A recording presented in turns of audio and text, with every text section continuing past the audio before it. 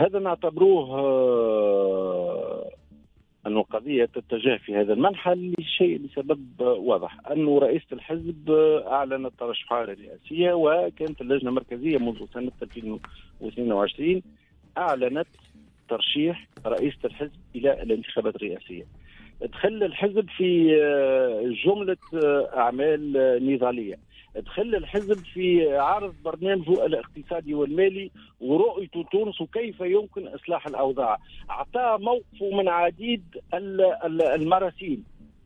آه، طعن فيها بالإلغاء أمام المحكمة الإدارية واللي لحد الآن الملفات كلها لم ينظر فيها. آه، قام مؤخرا بحمل عريضه التظلم إلى مكتب الضبط الإداري برئاسة الجمهورية وشفتوا الأمور إلى أين آلت وقت اللي رئيس الحزب توجهت باش توصل تظلم إلى مكتب الضبط الإداري بطريقة لا فيها لا عنف لا دعوة إلى التقاتل لا التمرد من أجل قلب قلب نظام الحكم.